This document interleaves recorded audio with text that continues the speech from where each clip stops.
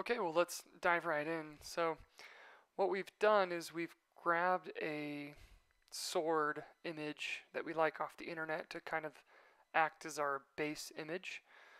Um, so we loaded that in just by copying and pasting, pretty easy. And for the prompt, we're going to use a similar prompt from our written tutorial. It's going to be an image of a role-playing game sword, uh, intricate details, Unreal Engine, 4K, high resolution, and then video game at the end. So while the prompt does matter, the image that you use is more important. With the prompt, just make sure that you're using descriptive words that kind of get your image to where you want it to go, and then go from there. So we're going to start off with just a simple um, 20 samples, crop and resize, make sure it matches the image as closely as possible. Make sure it's crop and resize and not those other ones. Set the CFG scale to 10, and then let's start by moving the denoising strength down to 7 and just see what we get. Okay, so that's not really that's not really what we want. So because that's not what we want, I mean, it looks cool, but it's not really a sword, we're going to move the denoising strength down to kind of match the image a little bit better to get more of a sword. And that's what that does. Again, we're not, not quite there. Let's see what else we can get. That's a little bit better.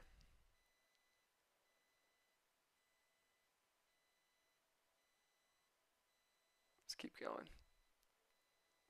Oh, that looks cool.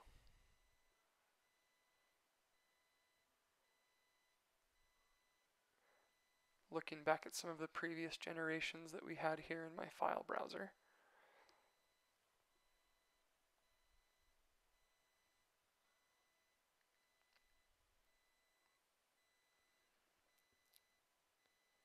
Let's do another one. Yeah, so we're close. Those look pretty cool.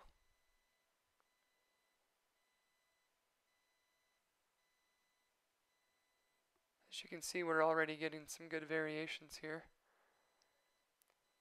Let's try and uh, move this CFG scale down just a little bit to be less creative. We kind of like, I kind of like where I am, so I'm gonna, I'm gonna do a batch of 16 here. We're gonna go at it and see what we get. I'll go ahead and speed this up. Realistically, that only took 25 seconds, but I just didn't want to make you wait. So let's take a look what we got here. Okay, these are pretty cool. Look at that one. Oh, I like that one. Wow, look at these.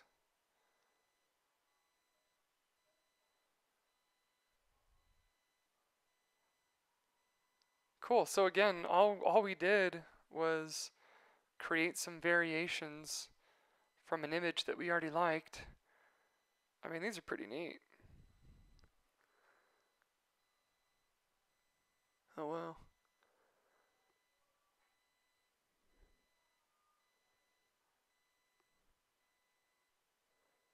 So we generated 16.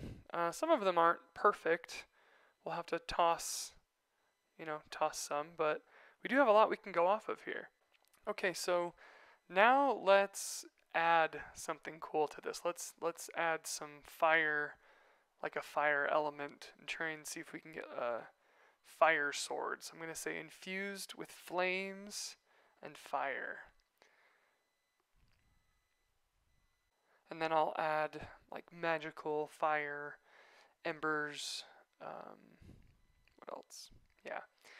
This is what I'm doing. You can do some you can do other fire related words and see what comes out. But let's uh, let's try this. Actually, um, the gemstone thing worked really well. Let's do that. We'll say red gemstones. Put some emphasis emphasis on that. Okay, let's give that a give that a go.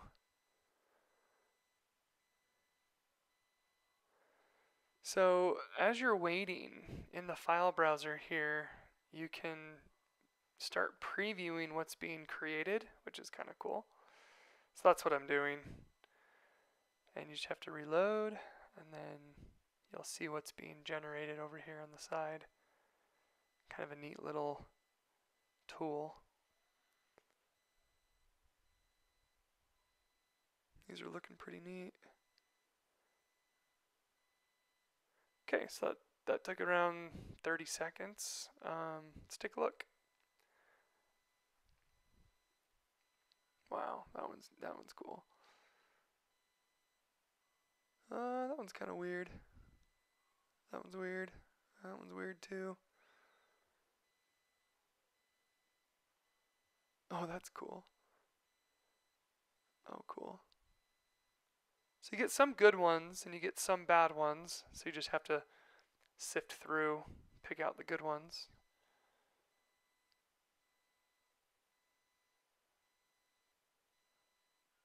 Oh wow, look at that. Yeah, cool. There you go. Okay. Okay, so some of these are a little too wild, a little too, I guess, creative. So we want to we want to try and keep it sticking to our original image. Let's move this down quite a bit here and see what pops up. So we want it to really stay close to that image. That's why we're moving that denoising strength down. And let's see what we get.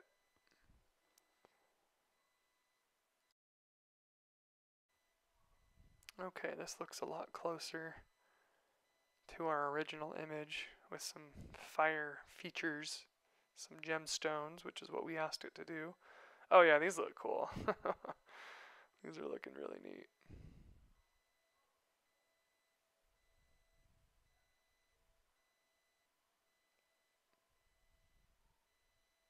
Way cool.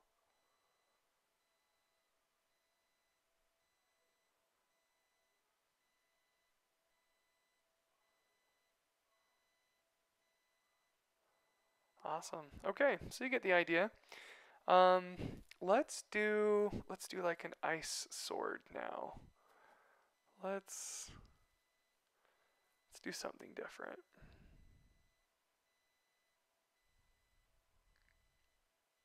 So we'll just change it from flames. We'll just say blue gemstones with some ice. We'll have to remove this magical fire and just say magical ice. Um, put some crystals in there, maybe. Okay, let's see what we get.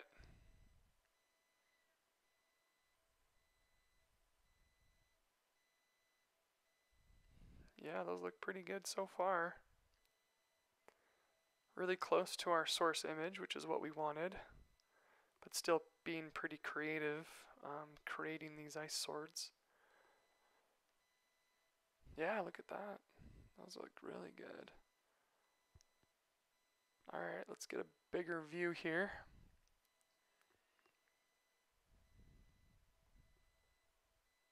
Oh yeah, way cool.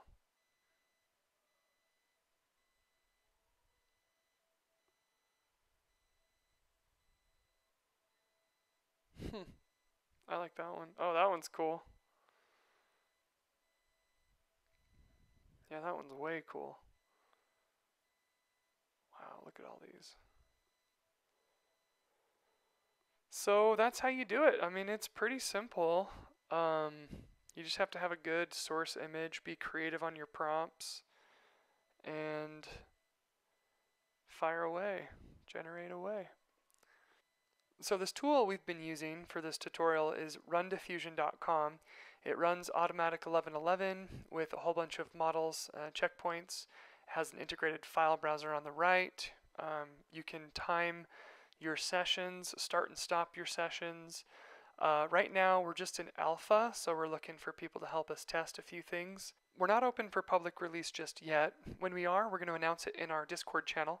So if you're not already a, a, part of that, go ahead and join our Discord, and we'll be announcing uh, when this tool is released. We will let you all know there, and we'd love to hook you up with some free time to uh, play with Run Diffusion. Thanks.